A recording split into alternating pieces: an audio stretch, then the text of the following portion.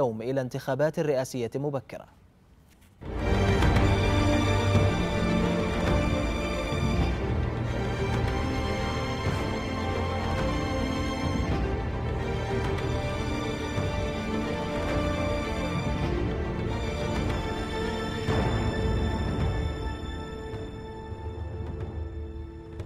إذا دعا الرئيس اليمني علي عبد الله صالح اليوم أمام الآلاف من أنصاره في ساحة السبعين بصنعاء إلى انتخابات رئاسية بطريقة ديمقراطية مبكرة حقنا للدماء.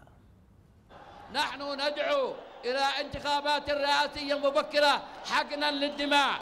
حقنا للدماء وصون للأعراض. حقنا للدماء وصون للأعراض.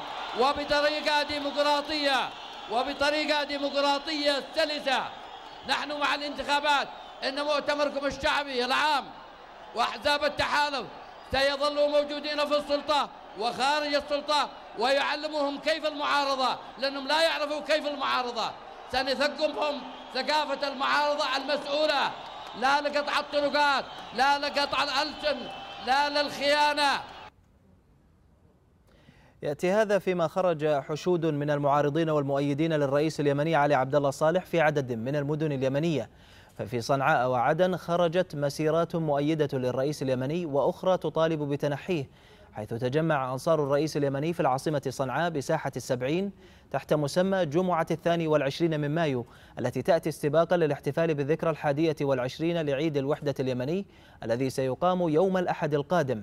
أما المعارضون فقد تجمعوا في ساحة الستين وهي امتداد لمكان الاعتصام بساحة جامعة صنعاء تحت مسمى جمعة وحدة الشعب.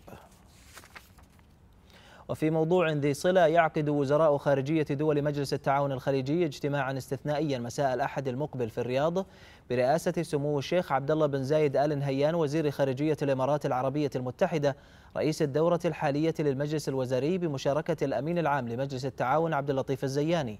وسيبحث الوزراء خلال اجتماعهم نتائج الزيارة الأخيرة التي قام بها الأمين العام لمجلس التعاون لصنعاء.